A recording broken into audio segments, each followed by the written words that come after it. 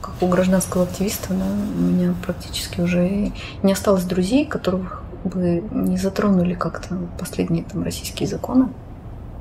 То есть, да, не все мои друзья заключенные.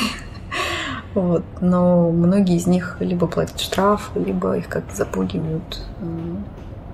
Да, очень многих. Чего там люди все на кухне говорят?